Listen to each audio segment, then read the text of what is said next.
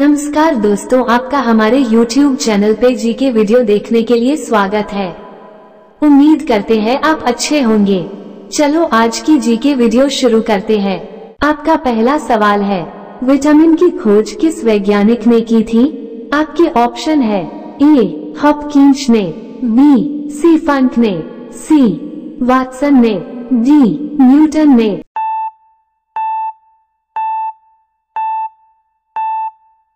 आपका सही जवाब होगा। ऑप्शन बी फंक ने। आपका दूसरा सवाल है विटामिन शब्द किस वैज्ञानिक ने दिया था? आपके ऑप्शन है A maglev B C Funk C Newton D Watson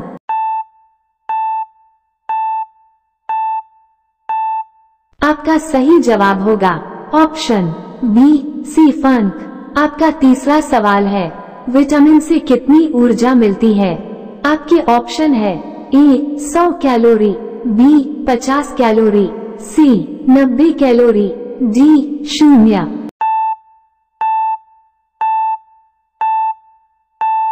आपका सही जवाब होगा। ऑप्शन डी, शून्य।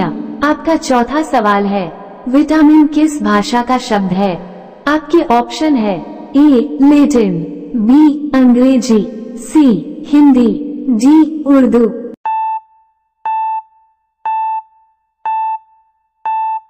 आपका सही जवाब होगा, ऑप्शन, ए, लेटिन। आपका पांचवा सवाल होगा, विटामिन के अध्ययन को क्या कहा जाता है? आपके ऑप्शन है, A vitaminology B, astronomy, C, ethology, D, odontology.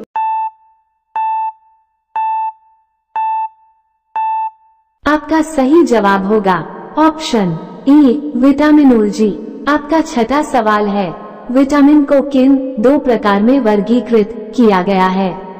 आपके ऑप्शन है ए, पानी में घुलनशील विटामिन, बी, वसा में घुलनशील विटामिन, सी, उपयुक्त दोनों, डी, इनमें से कोई नहीं।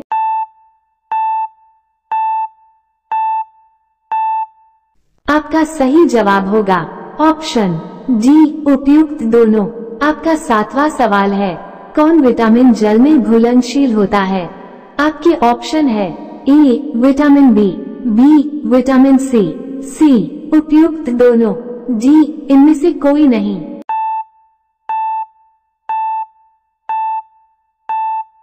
आपका सही जवाब होगा, ऑप्शन सी उपयुक्त दोनों। आपका आठवां सवाल है कौन सा विटामिन वसा में घुलनशील होता है? आपके ऑप्शन है A vitamin K B vitamin A C vitamin D D vitamin A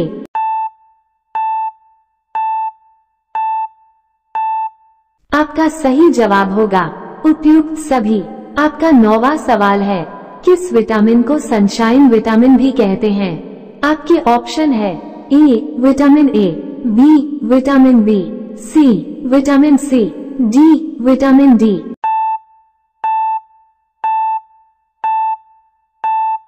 आपका सही जवाब होगा।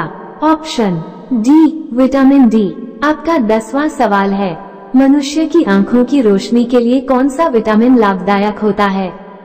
आपके ऑप्शन है A vitamin A B vitamin B C vitamin C D vitamin D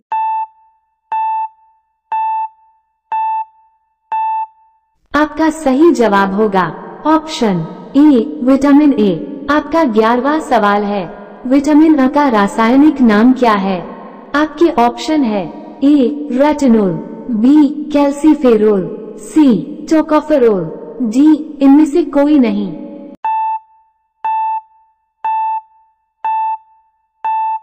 आपका सही जवाब होगा। Option A, retinol.